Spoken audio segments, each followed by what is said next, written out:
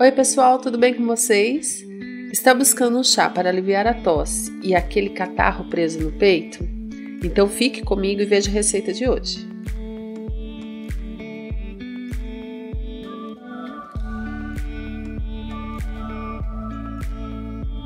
Para duas xícaras de chá, você vai precisar de meia cebola roxa,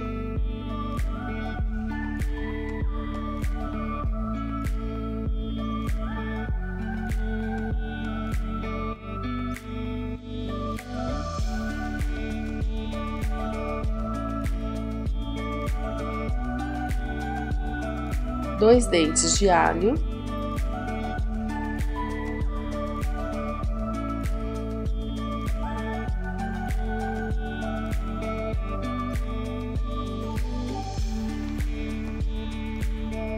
e meio limão.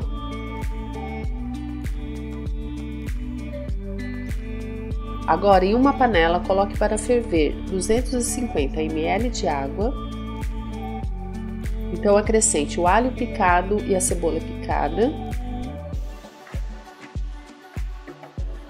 E deixe ferver por uns 2 minutos aproximadamente. Agora coe em uma peneira.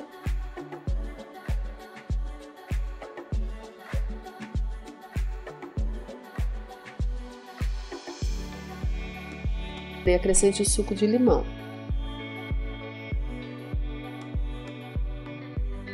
E para potencializar ainda mais esse chá, vou colocar meia colherinha de açafrão da terra. E mais ou menos uma colher de sobremesa de mel.